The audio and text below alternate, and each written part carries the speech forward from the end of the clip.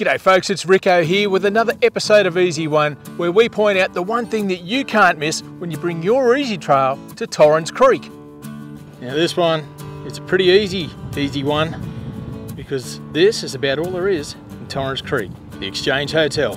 But I tell you what, it's worth stopping in for lunch.